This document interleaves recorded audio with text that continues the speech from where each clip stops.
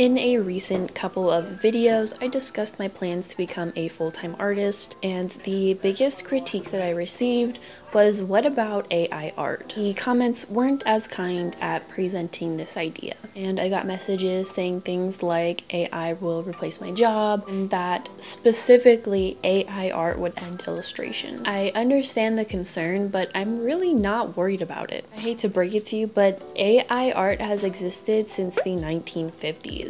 Of course, back then it was much simpler, and like any technology, has progressed over the years. The AI images produced back then were in black and white, created by code, rather than using images like the ones that we know today. In 2014, that's when AI art took a turn from being based on code to being based on images. And guess what? Loish was still popular and loved enough to sell out her first art book in 2016 two years after the generative AI was introduced. And she still, to this day, has sold many more books and has a vibrant art career. Her last book sold in 2022 and was backed on Kickstarter by 7,595 people and brought in 460,000 pounds, which translates to roughly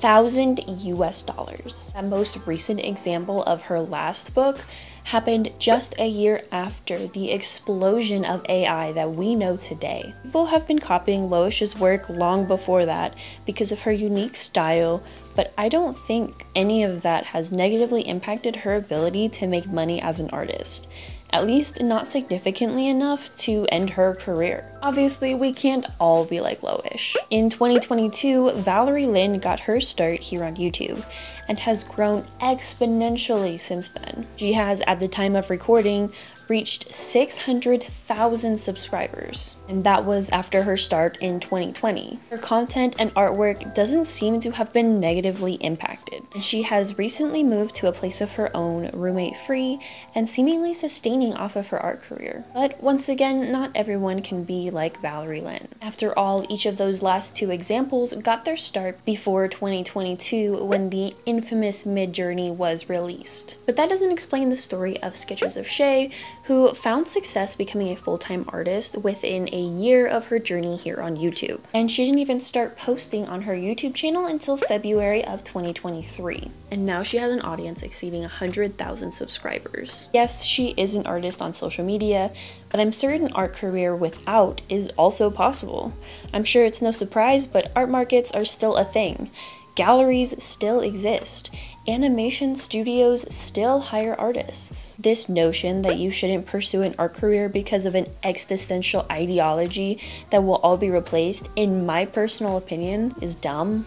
Now listen, I understand that our jobs are already being replaced with AI, but saying you shouldn't pursue an art career because you'll be replaced by AI to me holds the same space as we shouldn't do anything good in this world because we're all going to die anyways. I would much rather build an art career that is fulfilling and teaches me about business and taxes for the next five years than have a job at a company I hate, living paycheck to paycheck, and not even having a chance to save up money like I was before.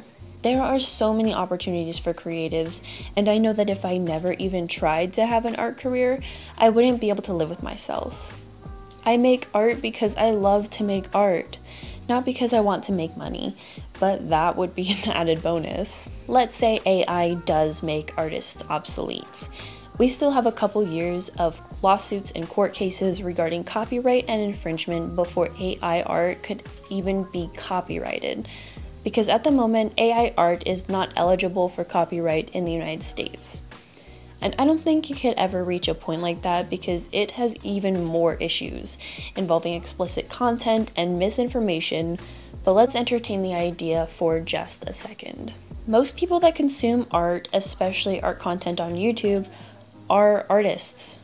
Real artists. A lot of us spending money on art is based on our parasocial relationship with the creator wanting to support them, and enjoying their work enough to want it in your home. This career I want is not what I expect for the rest of my life. I have other things that I'm passionate about and would love to have the opportunity to pursue if things don't work out. Like, I'd love to own a bakery or a cafe. I love coffee, breakfast, baked goods, and I'd love to additionally use that space to host art markets or painting classes or those wine and paint things. That's my kind of backup plan.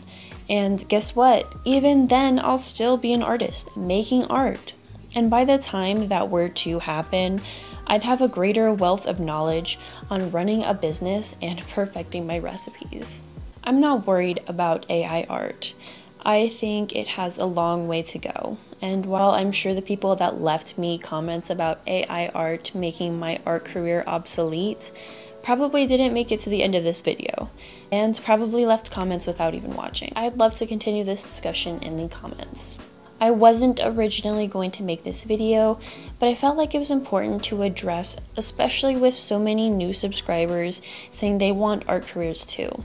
And I want you to know it's possible and not to listen to anyone's uninformed criticism of what you can do. Before you go, I want to thank everyone so much for 2,000 subscribers. It has been an incredible milestone to reach, and it's been really fun having a small community with you all. I've just really appreciated being able to talk to you guys and share kind of just what's going on in my life, how I'm planning things out, and kind of how I want to build a career for myself.